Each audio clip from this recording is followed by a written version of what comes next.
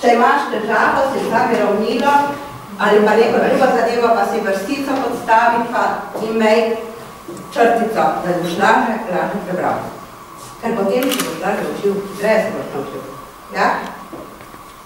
Dobro, še kaj vas zanima?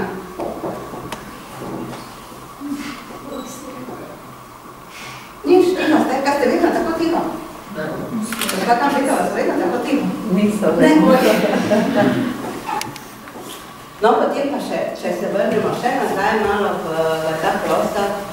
Uh, jaz sem imela rada kamne, še danes jih imam rada doma, imam na vsaki okenski polici, v neki posodici, pa v drugi zadevi, pa v vazi, pa tako naprej. In potem sem še napecala gospoda Hišnika, sedanjega, da je naredil tisto vitrino, ki noti, ko vidite, ne? In kamni, ki so bili prej najdeni v različnih koncih ali pa prenešeni z različnih koncev, so ostali tu notri.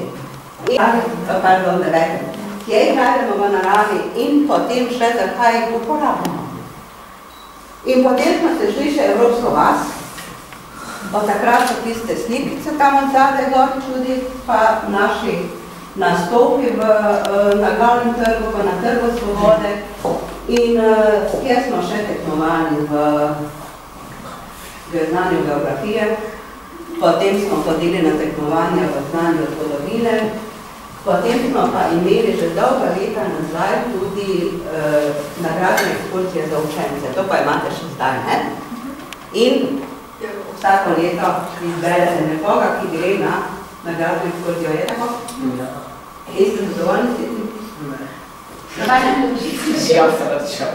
A ti čudi se, nauči se brati, dobro, če se boš dobro naučil brati in če boš zelo tovariški s svojimi sošolci in sošolkami, bodo more biti tudi tebe znali. Od tebe je odvisno, Da vam izbiral.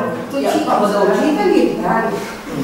Ne, bo gospoda Zdiničarka malo sugerirala, imam enega fanta, ki se je zelo, zelo